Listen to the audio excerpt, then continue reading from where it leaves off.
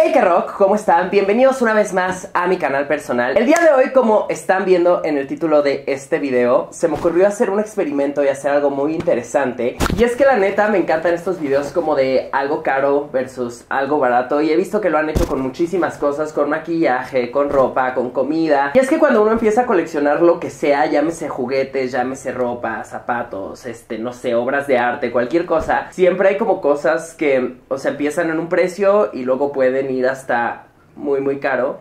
Y eso no es la excepción con los juguetes o con las Barbies. Así que el día de hoy vamos a tener cuatro muñecas que les voy a enseñar ahorita por aquí. A ver, voy a intentarlo grabar con mi celular.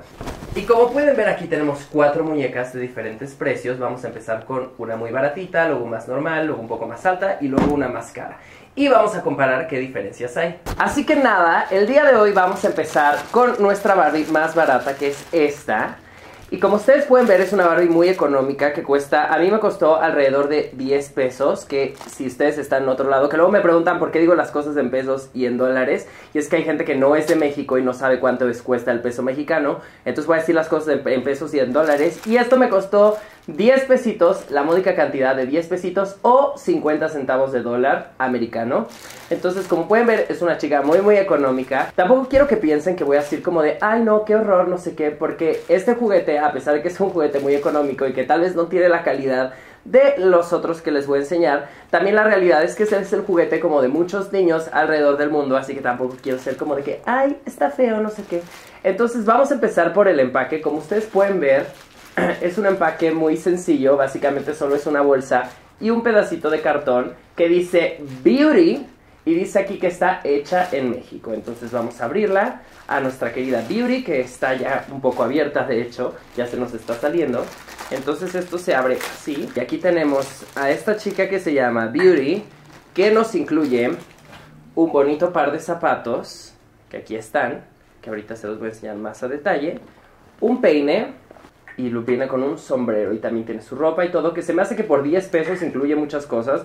Las Barbies de mercado de cuando yo era chiquito nada más tenían un vestido como de tubo, literal, como si fuera un calcetín y ya, y es lo único que tenían, así que me sorprende ver que estas tienen como un poquito más. Lo que sí veo que no ha cambiado es que no tiene como muchísimo cabello y esto si tal vez alguna vez han comprado una Barbie del tianguis, saben a lo que me refiero. Tiene un olor... Ay, güey, sí tiene un olor un poco peculiar, como muy muy fuerte, muy muy a plástico. Ah, es como... ¿Cómo que será? Pues no sé, un olor muy, muy, muy a plástico, pero muy intenso. Quiero ver si es toda ella o... Se me hace que es la fibra que hace el cabello, porque es como la más... Es como lo que huele más fuerte. Entonces, como pueden ver, los zapatos son de una calidad muy económica. Se pueden ver así. Tienen un poquito de rebabas. Ahorita se los vamos a intentar poner. Tiene este cepillo que tiene algunos motivos como de flores y de así. Viene con el sombrero, estos son los detalles. Y bueno, así es el cartón con el que venía. Y es esta chica, ¿no? Que como pueden ver, aquí se los quiero intentar enseñar lo mejor posible. Digo, obviamente esta no es una muñeca Barbie de Mattel, es una imitación. Que me sorprende que sea de México y que no sea china, porque usualmente son chinas. Pero mira, también tiene una estola. O sea, sí tiene como varios accesorios. Vamos a encuadrarla para ver cómo es su fisonomía. También está hecha de un plástico muy, muy ligerito. Como y hueco. Que de hecho, o sea, es como... O sea, si tú la aprietas, se aprieta fácil. No sé si alcancen a ver. Ay, Dios, ya la arruiné. Ay, no. Algo que sí es notorio de esto, o sea, es como algo que me llama la atención de esto es que el plástico, como aquí se ve donde las, em, como donde inyectan el molde, que se sale como un poquito, estos se llaman rebabas y que no se las han quitado y entonces tenemos un poquito de rebabas aquí. Esto es lo que les digo de cuando yo era chiquito, que la ropa es como más bien un tubo nada más, o sea, no tiene como ninguna forma, es como un calcetín no sé si lo alcanzan a ver. Es un pedazo de tela cosido como en forma de cilindro. Eh, la blusa es exactamente el mismo concepto, es un pedacito de tela enrollado. Los puntos de articulación que tiene es, son 1, 2, 1, 2, 3, 4, 5. Son 5, que son básicamente las manos de arriba para abajo, la cabecita que va, no hace para arriba y para abajo, nada más da hacia los lados. Y las piernas, no tiene articulación en las rodillas, no tiene articulación en los codos. Para la siguiente muñeca tenemos ahora sí una Barbie oficial de la línea Fashionistas que esta Barbie en específico es ya como una... Quería, eh, quería elegir esta en específico porque es como la media de las Barbies que hay de Mattel. O sea, es lo que uno puede llegar a comprar en una tienda, como por ejemplo si vas a cualquier juguetería. Es muy fácil encontrar una muñeca de este tipo en este momento. Obviamente hay unas que son un poco más sencillas y son un poco más baratas. Y hay otras que son un poquito más caras. Pero esta es como la media de la línea Playline. ¿Eso qué quiere decir? Que esta línea no está hecha para coleccionistas, está hecha, aunque gente las colecciona, esta línea está más bien hecha para las niñas, para que las niñas las jueguen. Entonces vamos a usar esta como literal el estándar, así como esta es la Barbie normal, que sirve para lo que fue hecha, para hacer un juguete, y que no, no tiene nada especial para coleccionistas, ni tampoco es de baja calidad, que es un juguete como para niños. Entonces, como pueden ver, la caja es muy sencilla. Básicamente es solo un blister, que es esta parte de plástico, y un pedazo de cartón atrás, que tiene aquí como toda la colección de estas muñecas. Que esta es una línea que hizo Mattel como, o que está haciendo como para tener más diversidad en el mundo de Barbie. Entonces, como pueden ver, hay muchas como de varias alturas, de varios colores de piel, como unas de diferentes tipos de cuerpo, igual los hombres y como con mucha ropa y accesorios. Entonces, esta es la chica número 92, que básicamente, aunque hay muchos personajes, esta sería como la clásica Barbie. Y cada, como cada que sacan una colección, tiene la clásica. Esta muñeca tiene un precio aproximado como de unos 300 pesos o de unos 14, 15 dólares aproximadamente más menos, a veces un poquito más en algunas tiendas, pero yo la he visto en alrededor de 300 y tantos pesos, casi 400. Y como les digo, hay algunas Barbies que son un poquito más baratas de Mattel y hay algunas que son un poquito más caras, ya si vienen con un set o si vienen en otras cosas. Pero esta es como una básica, como la media que tienen, pues que compran las niñas en el super. Y definitivamente ya consentirla siento que es algo, un producto que tiene como muchísimo más peso de articulación, esta tiene un poquito más articulación, pero tiene una articulación muy similar. Tenemos otra vez la cabeza que va a los lados, pero esta sí puede hacer un poco arriba y hacia abajo. También los brazos no solo hacen así, no solo hacen adelante y atrás, también pueden hacer a los lados, entonces ya de ahí tenemos un poquito más de articulación. Y no tenemos articulación en el torso y en las piernas igual solo arriba y abajo. Esta muñeca pues tiene de accesorios, eh, no viene con peine ni con sombrero, pero trae unos lentes y trae sus zapatos que ya los trae puestos. Un poco más de cerca podemos ver que la pintura, o sea, si, si nos podemos comparar la pintura con la muñeca anterior, obviamente es, tiene un trabajo como pues más definido, se puede alcanzar a ver aquí. Y también incluso la ropa, se ve que esta sí es una prenda que tiene ya un diseño, o sea, tiene aquí unos solanes, o sea, esto sí se ve que tuvo un patrón, que sí, a pesar de que es un vestido sencillo, es un vestido completamente, este, es un vestidor así que con forma. Y los accesorios también están como muchísimo mejor moldeados, no vienen como, o sea, no, no se les salen las rebabas al plástico, tampoco a la muñeca. Y los, y los zapatos también están muchísimo mejor moldeados hay unas partecitas que no tiene tanto cabello, a pesar que, me refiero a como es una cola de caballo, pues como que no tiene, o sea, sí hay partecitas que sí hay hoyos, pero por lo menos tiene cabello por toda la cabeza. Y bueno, esta es su fisonomía que es así. Y puede hacer esto, puede juntar las piernas un poco, arriba, abajo, como que también las piernas tienen cierta movilidad como que redonda, o sea, como que hacen un poquito esto, no solo adelante y atrás. Y pues el cuerpo no tiene ninguna rebaba, están los dedos, están separaditos, se puede ver ahí. Y nada, pues tenemos a esta chica que es la concursante número 2. Ahora bien, en el coleccionismo, especialmente en el coleccionismo de juguetes, obviamente están muñecas que están diseñadas para niños, como esta. Y Mattel tiene dentro del universo de Barbie algunas líneas que son diseñadas especialmente para coleccionistas. Tiene, por ejemplo, la línea Barbie Collector, que seguramente alguna vez lo han visto, y tiene como donde sacan a personajes o sacan como de ediciones especiales y todo. Y hay una línea muy interesante que de hecho ya está próxima a terminar, pero que estuvo durante 20 años, que es la línea Silkstone, Fashion Model Silkstone. Y esta línea es muy interesante porque eh, desde que se planeó, es planeada completamente para coleccionistas, ustedes la van a ver. Y bueno, ya desde el diseño de la caja, no sé si alcanzan a ver, ya es algo como que tiene un poquito más de trabajo, que no es simplemente un blister, que tiene como un poquito más de impresión, este cartón como de buena calidad, está impresa por todos lados. La caja se abre de esta forma, Es como una cajita un poco como de zapatos. Esta es la edición del 45 aniversario, o sea, no es nueva, ya tiene un par de años.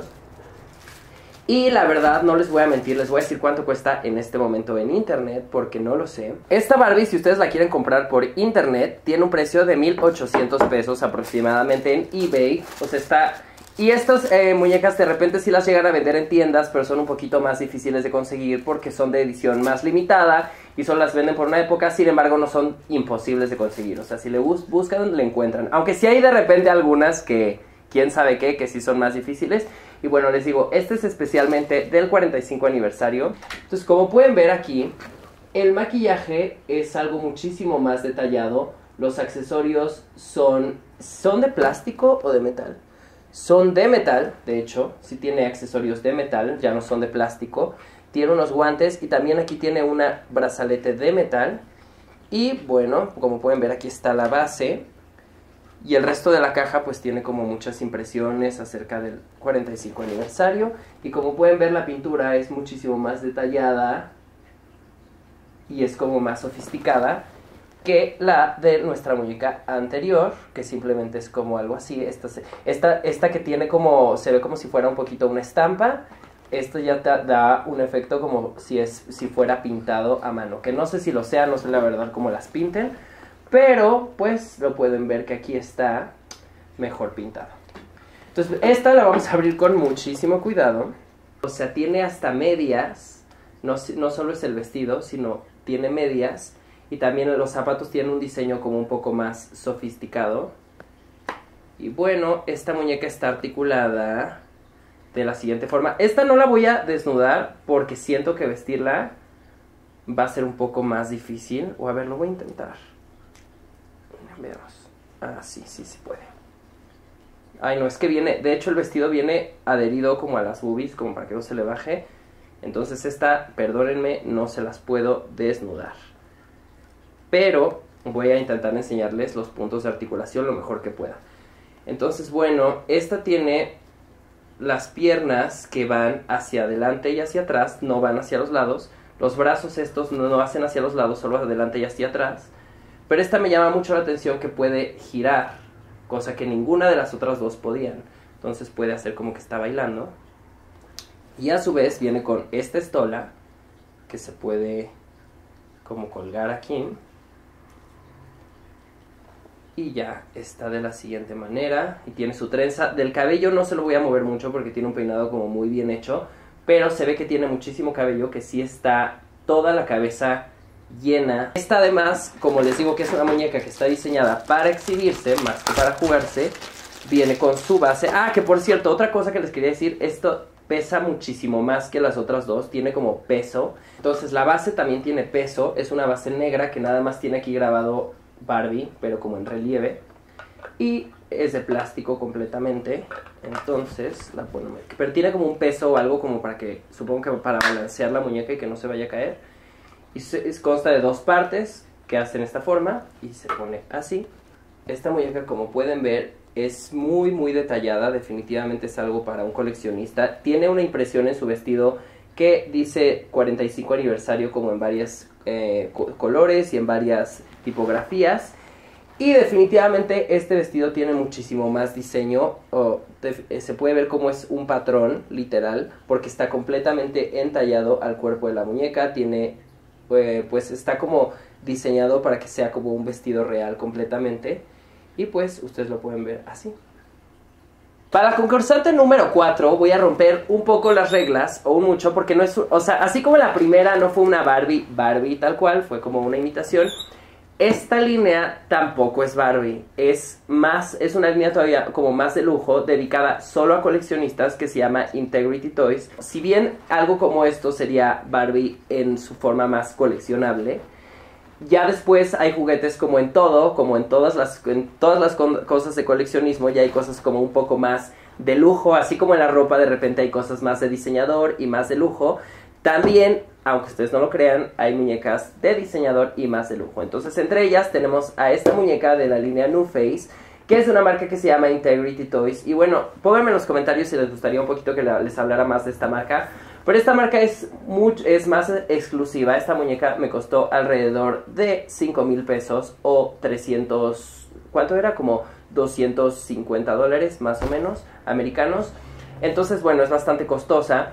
Y también conseguirla es algo como un poco más exclusivo. No es como que yo puedo ir a una tienda y comprarla y ya. Esta en específico, que les voy a enseñar ahorita, es una edición especial que salió en, o sea, que tienes que ser parte del club de la marca y que hacen como una rifa y que ya entras a la rifa y si ganas, no es que te la llevas, es que ganas la oportunidad de comprarla. Entonces, bueno, como ustedes pueden ver, la forma de comprar es un poco incluso más exclusiva, por así llamarlo, que a mí me parece una tontería, que hasta a veces pienso que igual y nos engañan y dicen como es una rifa y en realidad todo el mundo gana la rifa, pero quién sabe. Esta se abre de la siguiente forma, como han visto estos sobres como de papel manila que tienen como un hilito, se abre así. Y de la misma forma que la Barbie anterior, se abre como un regalo, así y ustedes la pueden ver y ya de inicio de verla, bueno, o sea, es que es una muñeca completamente de colección, o sea, tiene el molde, la calidad, o sea, el molde incluso como está moldeada la cara está súper detallada, ahorita les voy a enseñar, pero tiene también incluso pestañitas como de que pegadas, tiene un aretito en la nariz, la ropa tiene muchísima, muchísimo detalle y aquí podemos ver tiene esta, esta cajita donde están sus accesorios, que ahorita se los voy a enseñar, y tiene un poco más de accesorios. Y algo que me llama mucho la atención de, este, de estas cajas es que, bueno, son muy sencillas, son muy minimalistas, como que es algo más de diseño, pero tienen incluso adentro como estas cositas que tienen como hoyitos y adentro tienen empaques para la humedad, o sea, incluso para que no, como que no se dañen. Y bueno, vamos a abrirla.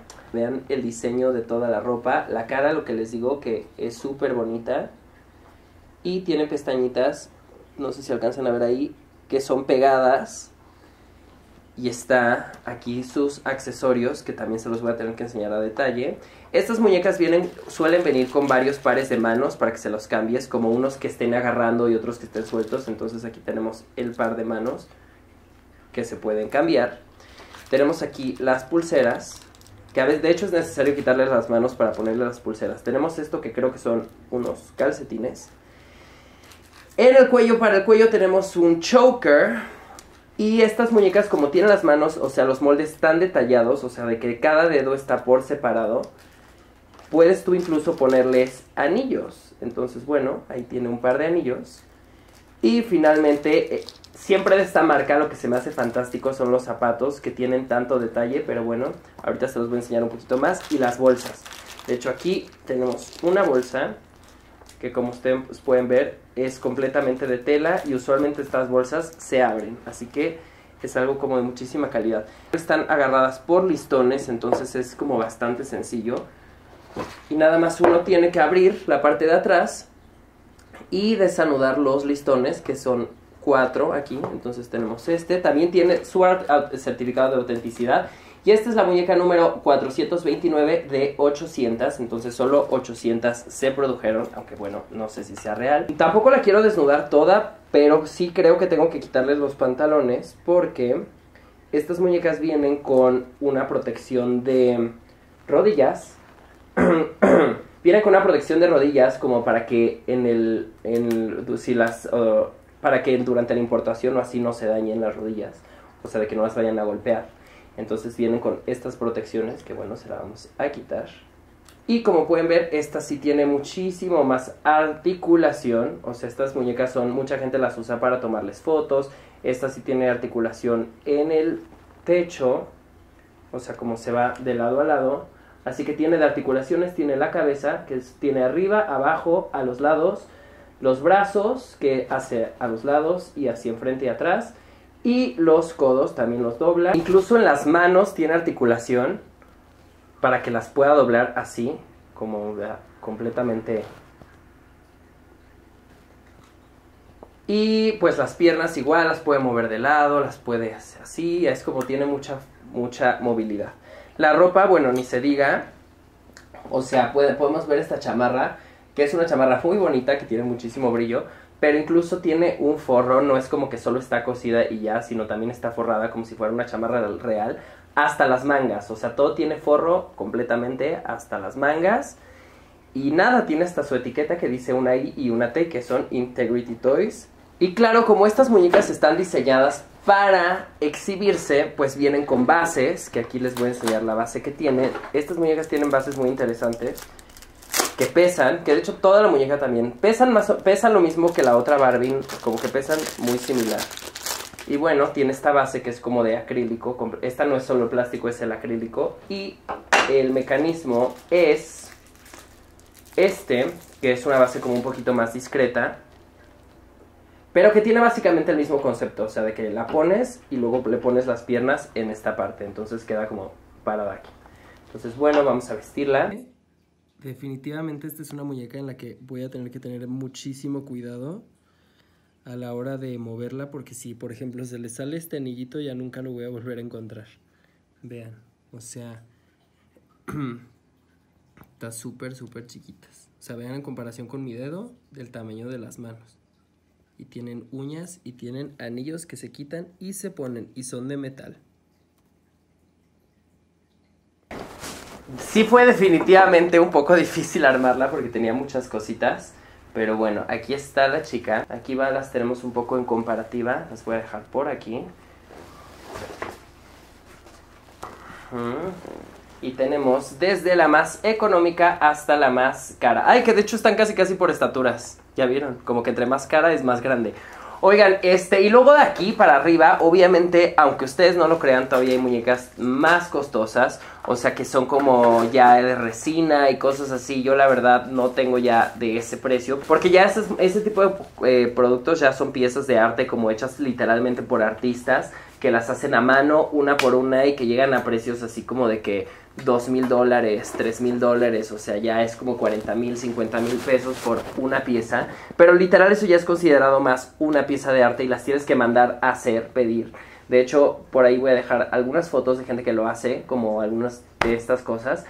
Y bueno, obviamente no tengo ninguna de esas porque están muy fuera de mi presupuesto. Pónganme en los comentarios si les gustaría que les hiciera un video específico solo de esta marca porque tienen muñecas muy interesantes y muy bonitas. Yo tengo un par que he comprado a través de los años y nada, por favor no se olviden de suscribirse a este mi canal personal, pónganle manita arriba si les gustó. Díganme si también les gustaría que les hiciera más de estos videos de caro versus barato, igual lo podríamos hacer con ropa, armar todo un look barato y armar todo un look caro. Y no sé, díganme, es que como ya tantos videos de eso, también no quiero como chotearlo y que sea lo mismo. No se olviden de seguirme también en todas mis redes sociales y en mi canal colaborativo. Ay, que de hecho, si se meten a mi Instagram, ya eh, mi TED por fin ya salió. Entonces, si les da curiosidad verlo, métanse a mi Instagram y en las stories está ahí. O busquen simplemente David Alegre, TEDx aquí en YouTube. Y nada, ahí lo pueden ver. Así que si es algo que les interesa, pues ahí se los dejo, se los paso al costo. Y pues nada, nos vemos a la siguiente. Chao.